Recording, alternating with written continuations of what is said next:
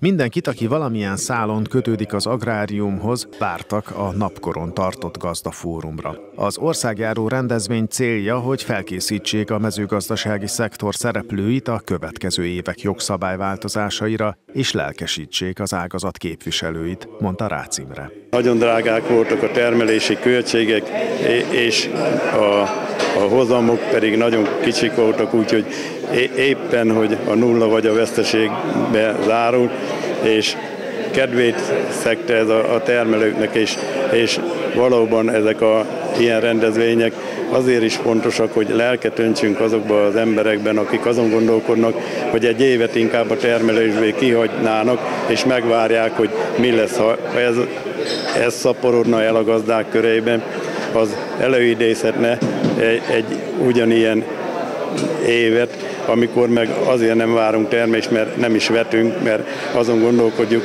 gondolunk, hogy, hogy a befektetett forintok nem térülnek meg.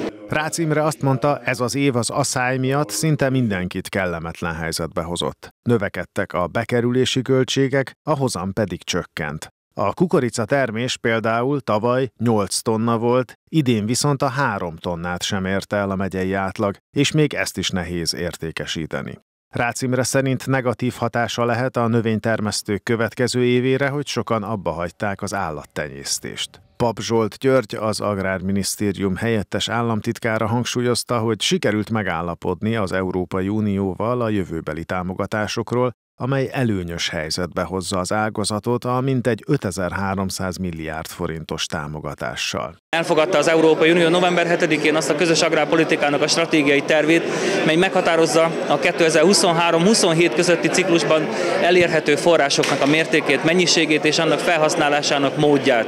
Ez nagyságrendileg több mint 5300 milliárd forint, amely a magyar agrárium fejlődését, versenyképességét és ellenálló képességének javítását képes szolgálni. Pap Zsolt György hozzátette, bár a mezőgazdaság egy nehéz évet zár, a támogatásokból eddig sem volt hiány. Az elmúlt időszak két év átmeneti évével számolva több mint 1500 milliárd forint állt rendelkezésére, mind az állattenyésztés, kertészet, feldolgozóipar, digitalizációra, a teljesség igénye nélkül felsorolva is minden ágazat számára, hogy fejlődjön, hogy megteremtődjön annak a lehetőség, hogy felzárkózzunk, és új alapokról tudjunk elrugaszkodni a közös agrárpolitikának a szabályrendszerén belül.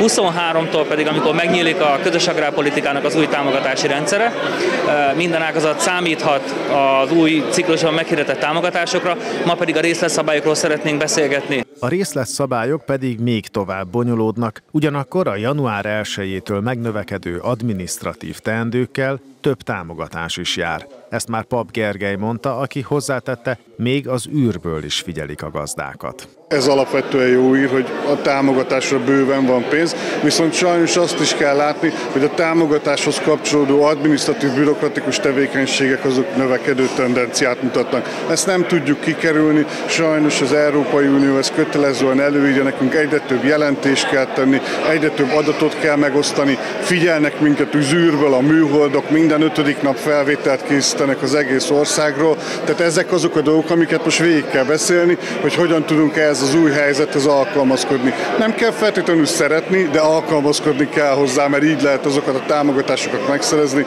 amik az állagai a fejlődésnek meg a további életnek. Pap Gergely úgy fogalmazott Magyarországon közvetlen támogatás formájában terület vagy állat létszám alapon mintegy 500 milliárd forintot fog tudni a Nemzeti Agrárkamara kifizetni évente, a vidékfejlesztési támogatásokra pedig éves szinten közel 800 milliárd forint lesz pályázható.